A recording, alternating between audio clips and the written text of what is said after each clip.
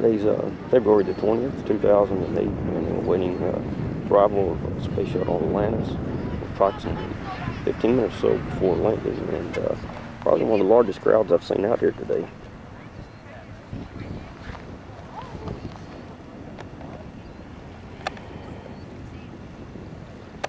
Right now we're looking at the uh, vehicle assembly building, or the VAB. That's actually where they process the uh, space shuttle to mate it with the uh, solid rocket motors and external fuel tank.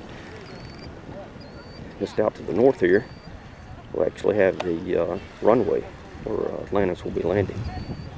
The shuttle approaches from the north, it'll usually come in from this angle, come in and land to this direction.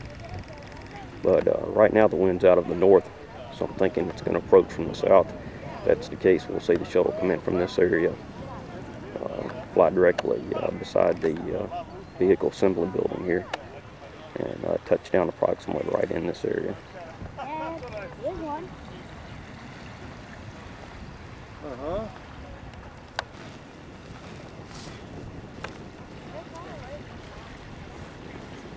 Yeah, well, you wanna walk back?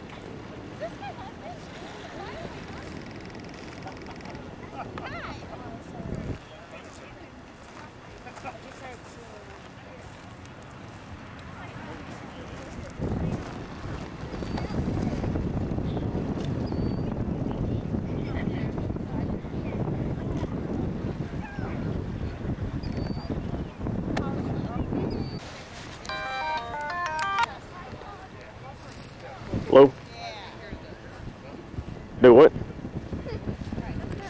Yeah, yeah, I do. This the most people I've ever seen down here. Yeah. Yep, no problem. All right, 10 4. Okay, I'll let you later then. All right, 10 4.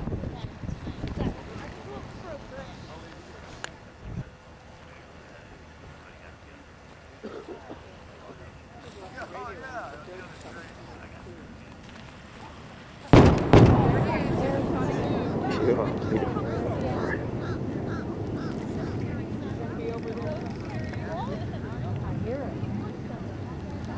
How'd you know?